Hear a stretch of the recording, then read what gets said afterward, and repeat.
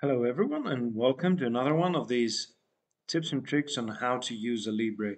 Now today I want to show you a, a, a, quick way of um, making a plane along the middle of an edge, right?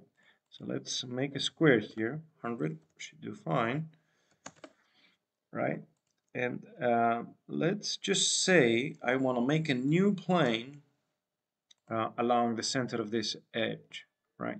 So if I go to planes and select the edge, there's no there's no option for that, right? Um, even if I go along a uh, you know along a path, it's actually along a sketch. So I need to create a sketch first, uh, project, and do all that. Now there is another way.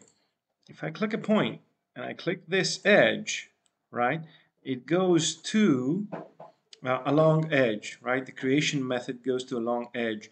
And there I can actually select a ratio which uh, can be other than 50% uh, actually, right? Can be anything, but let's leave it at that. And then I go to plane, right?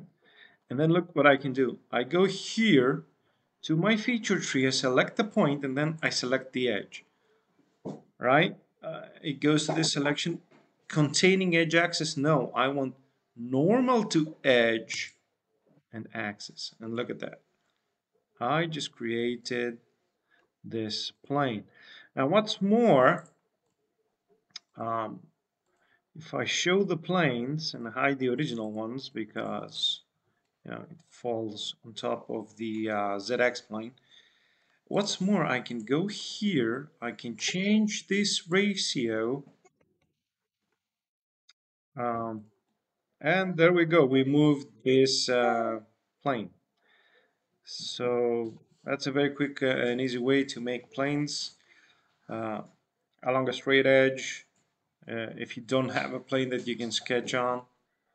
And uh, yeah, it's, uh, let's do it again in real time. So this is the process. Yeah like that. Then I go here and I click here and here normal. There you go.